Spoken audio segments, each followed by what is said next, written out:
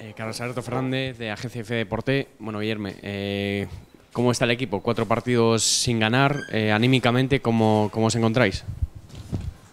Olha, cara, é um momento que estamos passando que é difícil de, de não, não estar vindo vitórias, mas creio que, que estamos com, com os pensamentos positivos para sábado poder fazer um bom jogo e ganhar. Necessitamos desse, desses três pontos para ficar mais tranquilo. Então é trabalhando e tendo confiança que, que, vai, que vai dar certo, tem que pensar positivo. Eh, estos días está Mauro Silva por Coruña. Eh, no sé si para ti es un referente o qué piensas de él y, y bueno, que, que, si lo vas a ver, si no sé cómo será ese reencuentro. Olha, eu vi uma, eu vi uma foto pelo, pelo site do Deportivo, mas ainda não, não vi, não conheço pessoalmente. Conheço a sua história e, cara, é um, é um ídolo não só do Deportivo, mas para todos os brasileiros, que, que foi um grande, um grande jogador. E com certeza me inspiro muito.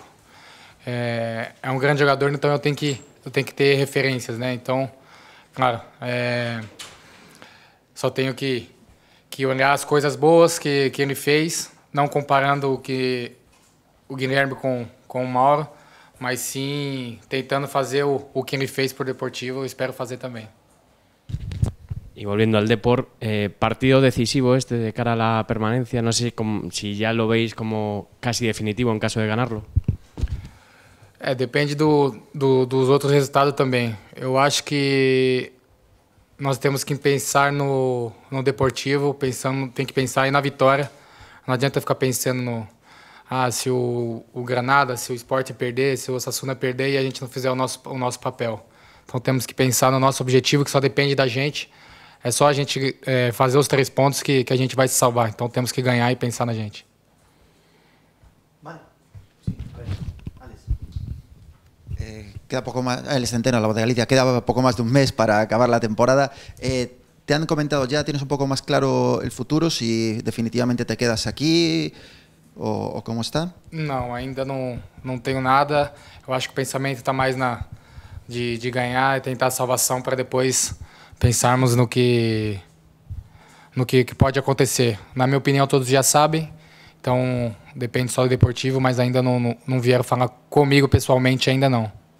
Hablaron los equipos, pero bueno, tú con el Deportivo sí que tienes acuerdo de sí, que si sí. llega un acuerdo con él. Sim, mas ninguém, ninguém me falou ainda que, que, que está, está falando com o Odinese para poder me comprar. Ainda não.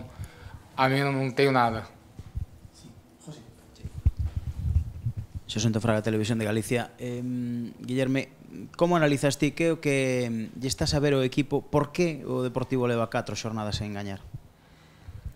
Olha, não, não sei dizer o porquê. É, infelizmente, o, os resultados não veio.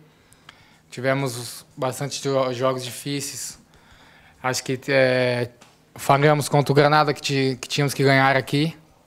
E não conseguimos.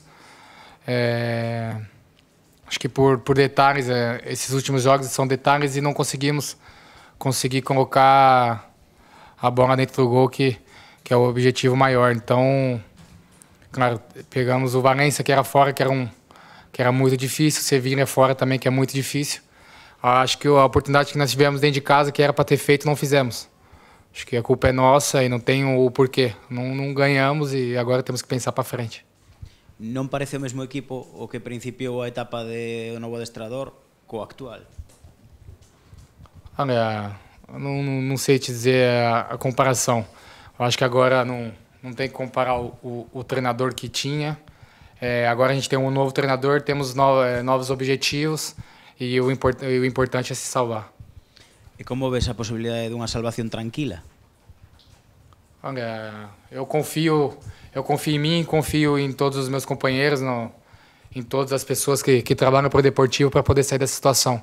Então eu creio que, que vamos sair sábado, se Deus quiser, vamos ter um, um grande resultado, já vai dar um, uma grande respirada e quem sabe já, já é um passo para a salvação. Sí, eh, perdón, unha última.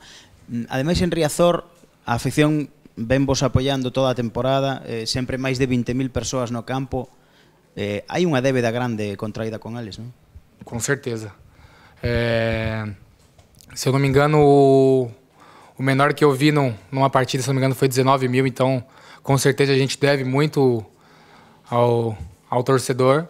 E esperamos que, que sábado, sábado conseguimos uma grande vitória para ele e para que possa cada vez ter mais pessoas. Então, com certeza a gente deve, deve os, os resultados e alegria um pouco para o torcedor. ¿Qué tal, Guillermo Dani Méndez, Bin Sports? ¿Qué piensas del Málaga? Eh, ¿Qué jugadores te transmiten más? ¿Rival difícil?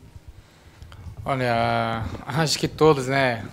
No, hoje na, na liga não tem nenhum time, nenhum time fácil. É, viu que o, que o Málaga ganhou do, do Barcelona, então é um time muito difícil, tem muitos bons jogadores e temos que estar atentos, temos que fazer nosso papel, mas creio que, que nós podemos sair com a vitória. Então é pensar positivo que vamos conseguir. ¿Qué crees que es mejor? ¿Haber cogido al Málaga en una racha mala, eh, con bastante necesidad, o hacerlo ahora que, que arrastran dos victorias consecutivas y ya se han alejado un poco de- del objetivo? Sim. É, mas eu acho que a gente tem que pensar na gente, que pra gente tá difícil. Tá mais difícil que pro Málaga, né? Com certeza. Então, a gente tem que tentar jogar de, de tranquilo pra não, não ter pressão e, e tentar o objetivo de, de sair com os três pontos. Sabemos que vai ser muito difícil, mas que vamos conseguir. Vale, chicos. Muy bien.